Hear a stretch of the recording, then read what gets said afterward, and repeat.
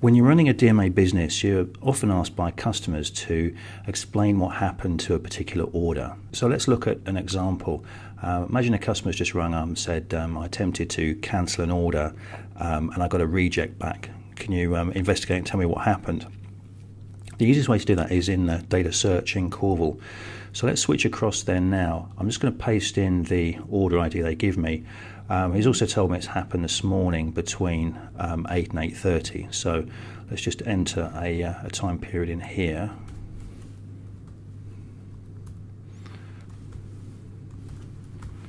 Uh, click apply.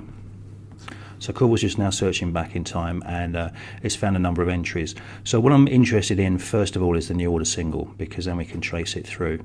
Uh, if I just open this up, we can see where it's been seen, and here's the name of our client, JJR. So I'm going to click on that. That's now going to launch um, event inspection, where we can take a closer look. Um, it's brought up one minute of uh, messages, so we can see here we've got 205 messages um, on five, over five pages. The first one being the new order that uh, that I selected. Um, okay, so all I need to do is click on order tracking. Uh, so let's do that, and uh, it's going to sh show us that new order and any related messages.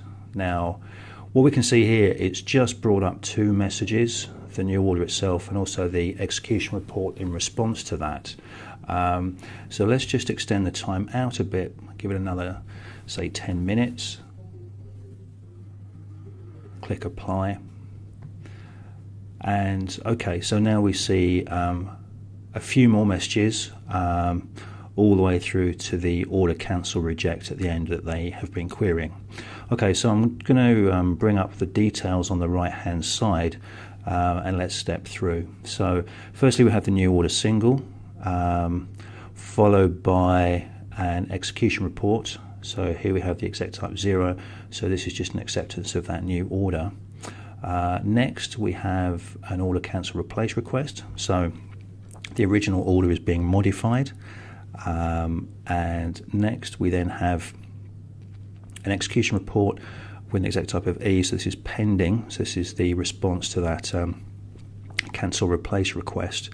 Um, and then next, we have confirmation that that order has now been replaced.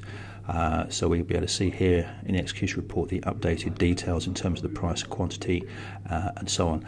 Um, they looks like they then go again, replacing that order again. Um, so we then have another pending, another confirmation of that order being replaced. Um, and then we get two further execution reports. So the first one um, has an order status of one. So this is actually a fill. Um, we can see here the quantity of that fill is 3221 out of a total quantity of 5443. Um, so Corvil's tracking the uh, the fill percentage here, so it's currently at 59%, and it's left a quantity of uh, 2,222. Uh, next message is another execution report, this time again uh, order status of 2. So this is now fully filling that order. And we can see here the, the quantity uh, filled here is the 2,222. So that's leaving a quantity of 0. Um, Corvil's picked that up.